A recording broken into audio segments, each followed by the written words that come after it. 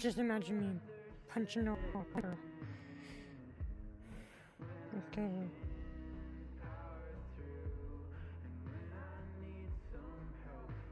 Why me? Why does it have to always be me?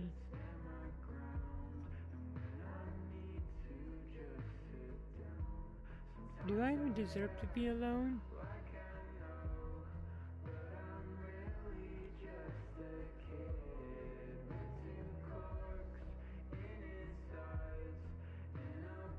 I don't know what to do anymore. Do I even deserve to be a king? It takes crown and what you put it on my bedside of my table, put it on table.